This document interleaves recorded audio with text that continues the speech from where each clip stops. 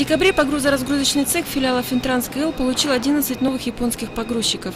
Первые четыре машины уже трудятся на складе готовой продукции картонно-бумажного производства. Еще семь в стадии оформления.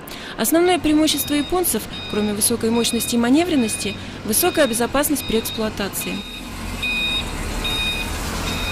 Во-первых, грузоподъемность. Во-вторых, безопасность движения, высота подъема рамки. Приятно работать на них. Новая машина оборудована специальным зумером, проблесковым маячком и фонарем «Синий луч», который включается при движении задним ходом. Кроме того, погрузчик имеет ограничение скорости – не более 7 км в час. Все для безопасности людей, работающих на складе. Сергей Кабаков, бригадир водителей погрузчиков, трудится здесь уже 37 лет.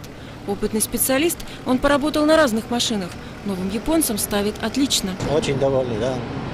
Довольны, все довольны. Он, как говорится, у него, вроде он сам большой, а, как сказать, угол поворота нормальный, вагон заходит хорошо, заподъемность хорошая. И поднимает высоко рулоны, не надо перехватываться.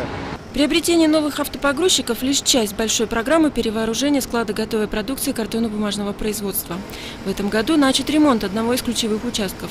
На 95% отремонтированы полы, вставлены новые оконные блоки, переделывается система освещения. Впереди косметический ремонт.